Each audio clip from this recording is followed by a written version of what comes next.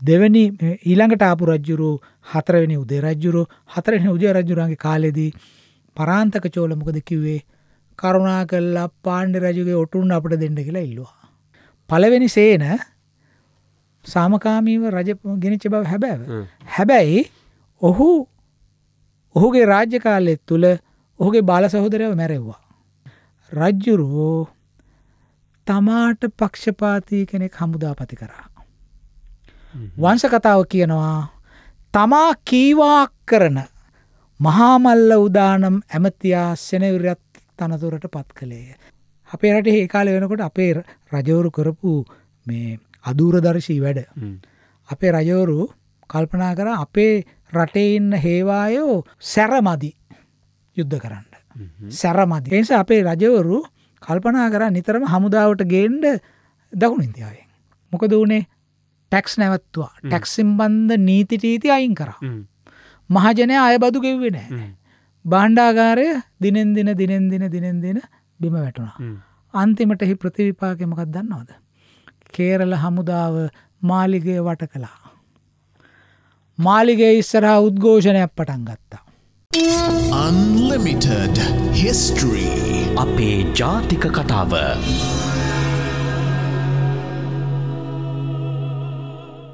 හරිම ආකර්ශණීය තැනකදි තමයි අපිට විරාමයට යන්න වනේ මේ අපි වරායන් දෙකක් දීලා චෝලයන්ගෙන් බේරවෙන්ඩ ගහපු ගියවසුම ගියවසුම එතකොට නුවන් මං හිතනවා අපේ හිතුවත් ශ්‍රාවකීන්ටයි ප්‍රේක්ෂකින්ටයි ඒ වංසකතාව ඒ කියන පාටේ අපි එහෙම උපුටා දක්වන හොඳයි කියලා. නැත්න සමාරට කියනලම අපි හිතන දේවල් ගලපලා කියනවායි කියලා.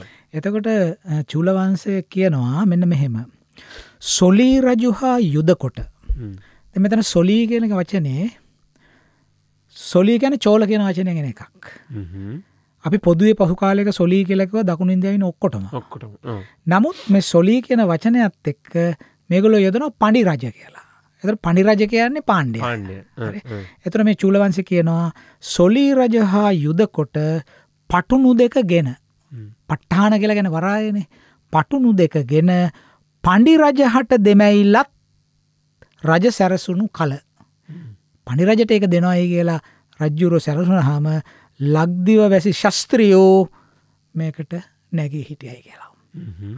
එතර ශස්ත්‍රියෝ කියලා මෙතන අදහස් කරන්නේ මේ ප්‍රභුහොරු පාලනයට සම්බන්ධ හා පාලනට සම්බන්ධ නැති සමාජයෙන් ප්‍රභූරු තම ශස්ත්‍රියෝ.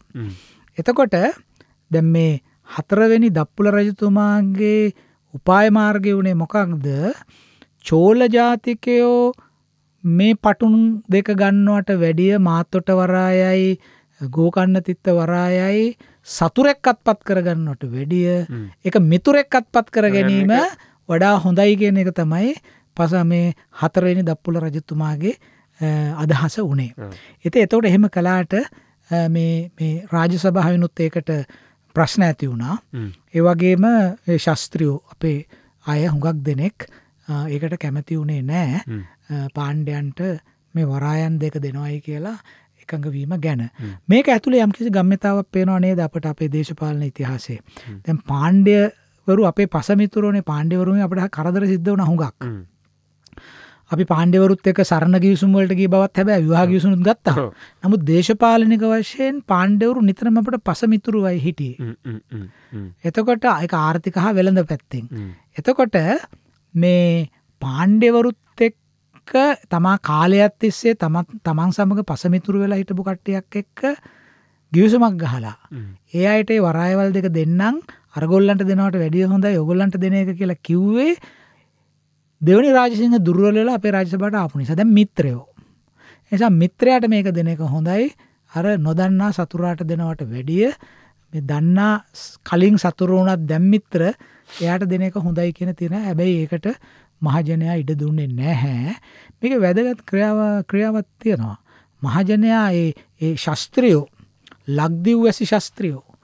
රාජසභාව ශස්ත්‍රියෝට ලක්දිව් වැසි ශස්ත්‍රියෝ. ලංකාවාසී ප්‍රභුවරු සහ මහජනයා කෙන වැඩ කරන ජනතාව මේ අයට මේකට එරෙහෙ වුණහාම රජ්ජුරන්ට සිද්ධ වුණ එකට කන් දෙෙන්ට රජ්ජුරන් සිද්ධ වනකට කන් දෙෙන්ට රජ්ජුරුව අහනනේ ජනතාව? කන්දෙන්ට වෙනවානේ. අන්තයට මොකද වනේ දෙවනි රාජසිංහ ඔටුන්න මෙහෙ මාලිගාවේ තියලා ඒ පංචකකුද බාණ්ඩත් තියලා ඔහු නැවත කේරලයට ගියා. මේ ප්‍රතිවිරෝධතා මේක ඇතුළේ එන නිසා. මොකද කෙරල රජ්ජුරොත් දැනගණ්ඩ ඇති මේ ප්‍රතිවිරුද්ධතා අවසංවෙන්ඩ පුළුවන් කියලා නරක තැනකින්. ඒනිසා ඔහු කල් ඇතුවම තමන්ගේ රාජ බහන්ඩටික එකන අවනත භාවය තවදුරටත් ප්‍රකාශ කරන්න මේ කකුද බහන්්ඩ රජ්ජුරෝගාව තියලා නැවත කේරලට ගිය. එතකොට මේ ඕක හොම වෙලා සිද්ධ සිද්ධ වුණා හෝක එම සාමකාමීව එම ගියා. හැබැයි ඊට පස්සේ එනවා හතරවෙනි උදය රජතුමා රාජ්‍ය ප්‍රතිපාප්ත වෙනවා නමසය හතලිහෙදී. ක්‍රිස්තුවර්ශයෙන් නමසය හතලිහෙදී හතරවෙනි උදය කියන රජතුමා අපේ රජයට පත්වෙනවා. මේ රජු පත්වනාට පස්සේ දෙවනි රාජසිංහ රජ්ජුරොත් එක රණ්ඩු කරපු පරාන්තක චෝල ඉන්නේ. පරාන්තක චෝල කල්පනා කරනවා හා දැන් වෙලාව හරි. දැ මොද කලින් හිටපු රජ්ජුරෝ මෙයාට ආරක්ෂාව දීලා ඔක්කොම කලා මේ වෙලාවේ එයත් එක්ක සාකච්ඡා පවත්තන්ට යම් සුදුසු නෑ. මොකද මගේ පසමිතුනට හු ආරක්ෂාව දීලා තියෙනවා. එනිසා වෙන්න මොකක්ද කියලා බලමු කියලා පස්සේ අවසානයේදී දෙවැනි ඊළඟට ආපු රජ්ජුරු හතරවෙනි උදේ රජ්ජුරු හතරෙන උදය රජ්ජුරන්ගේ කාලෙදී පරාන්තක චෝල මොකද කිව්වේ කරුණා කල්ලා පාණ්ඩ රජුගේ ඔටුන් අපට දෙන්න කියලා ඉල්ලවා. මොකද හේතු එහෙම ඉල්ලන්ඩ කෙනෙක් රාජ්‍යයක් යටත් කරගත්තට පස්සේ ඒ රාජ්‍යත්වයේ නීත්‍යානුකූල භාවය පැවරෙන්නේ ඒ රජුගේ ඔටුන්න සතුවනොත් පමණයි කියලා පිළිගැනීමක් තිබුණ මේ ආසියාවේ. කිරුල. කිරුල. කිරුල සතු කරගත්තොත් පමණ කළ මොද එතොරතම රාජ්‍යත්වය හම්බෙන්නේ. එතකොට ඒ වගේ පිළිගත් සම්ප්‍රදායන් තියෙන රාජ්‍යත්වය හිමි කරගන්න. යුද්ධ කරල ගත්තත්. යුද්ධ කල්ල ගත්තත් ඒ සම්ප්‍රදාය තියෙන හෙම කියන්න පුලන පරන්තක හරි හරි. මම යටත් කරා. අන්න රාජසිංහ පැනලගියා දැම් මටයි අයිති මෙහෙ. නෑ එක එම නෙමේ එම යටත් කර ගත්තත් ඔහුට තමාගේ බලය ස්ථාපනය කර ගැනීම සඳහා ඔහුට උවමනා වනා මේ කිරීටය ලබාගණ්ඩ. එතුර මේ හතරවෙනි උදේග කාලන මේ ක්‍රීරිට ඉල්ලුවේ. එතකොට මේ මේ කිරීටය දුන්නයි කියලා හිතනවාද? නෑ. හතරවෙනි උදය ඒක්ෂණයකින් ප්‍රතික්ෂේප කළක් කිරිටය දෙන එක. හරි. එතකොට අපිට මේක කොයි විදිහටද දේශපාලනික වශයෙන් කියවා ගන්න කියන එක අපි තේරුම් ගණ්ඩ ඕන. අපිට හිතන්න පන මේ හා කැන ලඩක් නැසර මේ දා ඒක තමයි මේ කියන්නේ. අපේ විදේශ ප්‍රතිපත්තිය හරි අපි මැදිහත් ප්‍රතිපත්තියකට නොවන තා කල් හරි. අන්න වශ්‍ය දේවල් අපට වලට මූුණ දෙන්න සිද්ධ වෙනවා. දැන් ඔය අර මංකිවනද පලවෙනි සේන රජ්ජුරුවන්ගේ කාලේ අටත් කරගත්ත ඒ දෙවනි සේන. දෙවනි සේන පලවෙනි සේන රජ්ජුරුවන්ගේ කාලෙදී මේ අර ශ්‍රීමාර ශ්‍රීවල්ලභ කියලක් කෙනෙ හමුදාවක් කරන්න එල මේ ගැහුවයි කියලයි කියලා ඔව. නුවන් දන්නවද මොකද ඒකට හේතුව කියලා? එකට හේතුව කියලා නෑ මොකුත්. නමුත් අපට හේතුව පේ නොවිනි විද පලවෙනි සේන සාමකාමීව රජ ගෙනච්ච බව හැබැව. හැබැයි ඔහු ඔහුගේ රාජ්‍ය කාලෙත් තුළ ඔහුගේ බාල සහෝදරයව මැරෙව්වා. මොද බාල සහෝදරය මොගේ බලයට යම් කිසි තරජනයක් ඇති කරන්න ඇති. බාල සහෝදරය මැරෙව්වා. විතරන්න නෙමේ ය තව වැඩක් කරා. කොච්චරද කියෙනවා. එයාට එක්කෝ රජ පවුල අභ්‍යහන්තරයෙන් තර්ජනය ඇත්තිබුණා. ඒක හැබැයි වංසකතාව කොහත් කියන්න ඒක හෙම. අපිට කිය පේන අපට කියවගෙනට පේනවා. එන බලසවදත් ඔය සමහර පවුල්ලස්සේ එහෙම තියෙනවා කියලා මේ කියන්න කවරු පේන පේනවා නේද? පේන අපියම් පේනවා. එතකොට බාල සහෝදරයා ඝාතනය කලා තමාගේ බාල සහෝදරයා බරපතල කාරණයක්. බන බලය වෙනුවෙන්. හරි. එවි තරන්න නෙමේ ලස්සන වැඩක් කලා මන්දන නුවන් එක ගලපන්ඩ ඒ සුදුසු විදිට වරණා ගණ්ඩ රජ්ජුරුවෝ තමාට පක්ෂපාතිය කෙනෙක් හමුදාපති කරා. වංශ කතාව කියනවා තමා කීවාක් කරන මහාමල්ල උදානම් ඇමතියා සෙනවිරත් තනතුරට පත් කළේය. තමා කීවාක් කරන තමන් කියන දේ කරන පුද්ගලයෙක් සෙනවිරත් තනතුරට පත් කලා. දැ මේ විග්‍රහය ඇතුළේ අපට පේනවා රජ්ජුර මොකද කළේ තමාට තියෙන ප්‍රධාන තර්ජනයක් තමාගේ සහෝදර ප්‍රේමය පවුල් සම්බන්ධතා නොතකා බාල සහෝදර ඝාතනය කළා. ඊට පස්සේ මොහුට දිගින් දිගටම පවත්තාගෙන යන්න ඕනේ ඔහුගේ ආරක්ෂාව. හමුදාවෝන්න එකට? හමුදාවෝන හමුදාවට පත් කළේ කවුද? සුදුස්සෙක් රණසූරයෙක් නෙමෙයි. තමා කීවාක් කරන කෙනෙක්. කියන එක කියන කියනෙක් කරන කෙන කියන කියන කරන කෙනෙක් හමුදාපති තනතුරට පත් කලා චූලවන්සේ ඒ වචනෙන්ම කියන ඔහුගේ නම මහමල්ල උදා. මහාමල්ල උදය ඔහුව ඔහු ඇමතියෙක්. ඇමතියා සෙනවිරත් කලා හමුදාපති කලා හරි. එම කරන්න පුළුවන්නේ අපිට පේනවාන නේද? එම කරන්න පුළුවන්. එතකොට මේ මෙන්න මේ වගේ අස්ථාවර භාවයක් එන ඔහුගේ පාලන ආකෘතිය තුළ තියෙන ඔහුගේ කාලය තුළ සමාජ සම්ෘධවත්ත මිනිසු බීල කාලා හිටිය තමා. එක කියනට සුරාපාය වුණයි කියලා. හරිද? උනාට මේ ස්ථාවරත්වය අරංගේ කොහොමද? මේ ස්ථාවරත්වය අරංගේ වගේ දහන් ගැටවලින්. ඒ වගේ කෘත්‍රීම උපායමාර්ගවලින් මේ සමත්තුල්තාව අරංගයයි කියලා අපට පේනවා.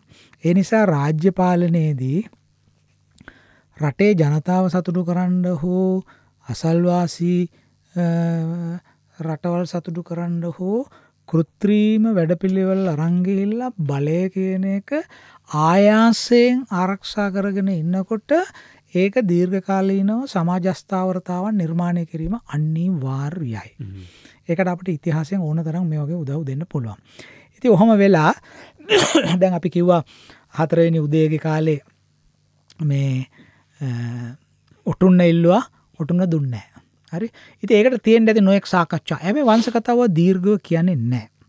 හරි කියන්නේ නැහැ මේ පරාන්තක චෝල කල්පනා කලා ලංකාව මෙමයි. ඔහුට තනිකරෝමනවත් තිබුණ ලංකවල්ලගන හදිසියවිල්ලා ඔහුට ඔහුගෙ තිබුණේ වෙළඳාරමුණක්නේ ඒසා ඔහු කල්මරමින් කල්මරමින් හිටියා මේක කරන්න.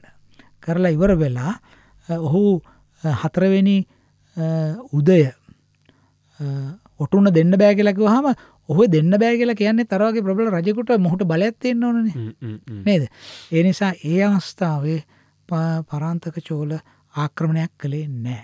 හැබැයි ආක්‍රමණයක් කිරීමට ඌමනා කරන හේතු එක දෙක තුන පෙළගැහෙමින් තිබුණා. හරි එතකොට මේ ඊට පස්සේ අපේ තීරණාත්මක තැනට අපි එන්නේ රජපත් වෙන්නේ පස්වැනි මහින්ද. පස්වැනි මහින්ද රජයට පත් වනාට පස්සේ ඔහු මොකද දනද කරේ? ඔහු රජයට පත්වෙච්ච ගමන් රටේ බදු අය කරගන්න තියෙන නීතිරීති අයින් කරා. නීති දාලාන බදු අය කරගන්නේ. මොහු ආපු ගමන් බදු අය කර ගැනීමට තියෙන නීති අයින් කරා. බදු අය කරගන්න නීති අයින් කරම මිසු බදු ගවන්නේනේ බදු ගෙවන්න ඇති නිසා රටේ බණ්ඩාගාරය ක්‍රමක්‍රමයෙන් හිස්වෙන්න පටන් ගත්තා. එතකොට මේක වංස කතාව කියන්නේ කොහොමද. වංස කතාව කියනවා ඉවත් කළ නීතිමාර්ග ඇති සර්ව ප්‍රකාරයෙන් මුදු වූ උහුට අයත් අය කොටස එකල ජනපද වැසියෝ නොදුන්හ. අන්ඩුට ටක්ස්කේ නෑ. අඩු ගෙන කොහොමද? තැනු කෙනෙන කොහොමද? ඒකන මේ හන්නේ ඇයි ටැක්ස් නීති අයින් කරේ? එක ආණ්ඩුවන. පස්සෙන මහින්ද ගත්ත තීරණ හරි. එතකොට ඒ මොකද මේ වංස කතාව කියනේවා අපි ඒ විදියටම ගණ්ඩ ඕන්නෑ වංස කතාව ගැන එය හරි මුදු භාවේ මෘදුයි. මෘදු නිසා බදු ටැක් අයින් කර. ද සමහර වෙලාට ටැක් අයින් කරනකොට අපි තිබිච ටක්ෂය අයින් කරම අපට හිතෙන්ටත් පුලන් අයින් කරපන හරි මෘදුවන ටැක්ස් ගෙව්ව නෑනේ ගෙවන්ඩ වෙන්න ෑන දැන් කියලා අපට හිතෙන්ට පුළුවන්. එතකොට වංස කතාකරුත්න් මේක ලියන්න මේ සිද්ධිය වෙලා අවුරුදු හාරසියකට පන්සිකට පස්සෙන. එතකොට මේ වංස කතාවේ එන විදිහට මේ රජ්ජුරුව මුරුදු භාවය නිසා මොන මෘදු වුණත් වෙස්සන්තර රජ්ජුරුව වනත් රටේ ආදායම එන මාර්ගය වැහුවොත් එහෙම ඊට පස්සේ වෙන දේ ගැන අටුවටි ගලියන්න උන්නන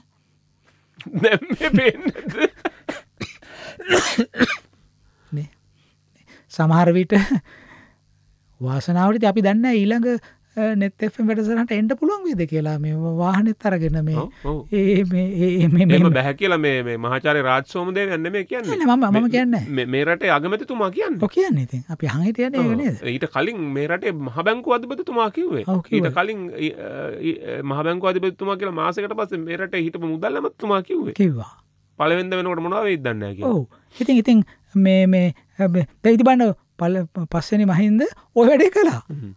ටැක් අයින් කලා අයබදු හම්බුන් නෑ බාණ්ඩාගාරි බංකොලොත් වෙමින් ගියා. අන්තිර මොකොත් දන්න දුනේ අපේ රටේ හිටපු අපේ රට ඒ කාල වෙනකොට අපේ රජවරු කරපු මේ අදූරදර්ශී වැඩ. අපේ රජවරු කල්පනා කර අපේ රටේ ඉන්න හේවායෝ මේ සැරමදි යුද්ධ කරන්න. සැරමදි. බෞද්ධයවනේ ආ, ආ. බෞද්ධයෝ අපේ කටේම තින අනේ පව් කියන එක. අනේ පව්කට්ටියත්ත කරන් කියලා යුද්ධ කරන්න බෑන. හරි. එතර යුද්ධ කරන්නගේ හාම තමා ඉදිරියේ තියෙන දේ කවුරු වනත් තම සතුරෙක් නම් ඉලක්කයක් ගණඩ වෙනවානේ. එතකොට මං හිතනවා ඒක කියලම් අපයයි මෘදුයි. මෘදුයි. ඒනිස අපේ රජවරු කල්පනා කර නිතරම හමුදාවට ගේන්ඩ දකුණු ඉන්දියාවෙන් හ්ම්. හ්ම්. කේරලෙන්ගෙනාව කරනාටකවලින් ගෙනාව. හරි. ඒගොල්ලෝ රළුයි.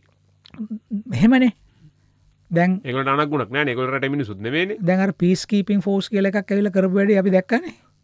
නේද? අනක් ගුණක් නෑ අනක් ගුණක් නෑනේ අනක් මොකද ගුණක්- ඒගොල්ලන්ගේ රට නෙමෙයි ඒගොලන්ගේ රට නෙමේ ඒගොලන්ගේ මිනිස්සු නෙමේ ඒගොලන්ගේ සංස්කෘතිය නෙමෙයි. ඒනිසා ඒගොලන්ට ඕනයක් කරන්න අපි අපි මේ අත්දැකපු හ්ම්. හරි.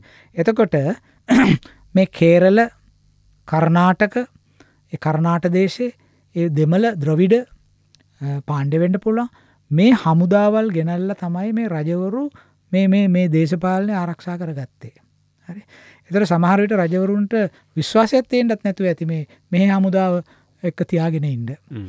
පිටින් ගේන්නේ එකන නමුත් බොහෝ තැන්වල කියන්නේ අපේ හමුදාව මේ කරූර මදි කියලා මේ සටන් වලට. ඇ කරූරය ගෙනවය කියලා. ඉතින් කවුරහරි අහයි කොහෙද රෙෆරන්ස එක තියන්න කියලා. මගේ රෙෆරන්ස එක දෙන්නම්. මේ චෝල පාලනය ගැන ඉතාම හොඳ පොතක් ලිව්ව එක්දසම්සේ හැට හතේ ජෝජ් W ස්පෙන්ස කියන මහත්මයා එක ඉදිරිපත් කරේ කැලිෆෝනියා විශ්වවිද්‍යාලයට ඒ පොතේ නම the politics of expansion එකන්නේ ව්‍යාප්තවීමේ දේශපාලනය. කියන අදහස තියෙන පොත. මේ පොතේ සම්පූර්ණයෙන්ම පාදක කරගෙන තියෙන්නේ මේ චෝල අධිරාජ්‍යයේ පලල්වීම. මොකද චෝල අධිරාජ්‍ය නමවෙනි දහවෙනි සතවර්ශවල පලල්වීම දකුණු ආසියාවේ ඉතිහාසයට අමුතු රූපයක් ලබා දෙට හේතු වුණා. අපේ ඉතිහාසය තුළ අපට පලවෙනි විජයබාහු කෙනෙක් ගැන කතා කරන්න වෙන්නේ චෝල ආක්‍රමණය එක්ක. එතකොට අපිට උපසම්පදාව චෝල දේශයෙන් ගේන්ඩ එහෙම වෙන්නේ. මේ චෝල සම්බන්ධතාව නිසා. අපේ ඓතිහාසික වාස්තු විද්‍යාවට හින්දු කෝවිල් පොළොන්නරුවේ අනුරාධපුරේ ඇතිවෙන්නේ මේ චෝල බලපෑම නිසා. අපේ වෙල්ගම් වෙහෙර කියන පන්සල රාජරාජ පෙරුම් පල්ලි කියලා දෙමල පන්සලක් බවට පත් කරන්න සිද්ධ වනේ මේ හේතු නිසා. ඒ නිසා මේ චෝල පාලනය ගැන හුඟක් අධ්‍යයනය කිරීම මේ කලාපිය දේශපාලනය තේරුම් ගැනීම සඳ ඉතා වැදගත් නුවන්.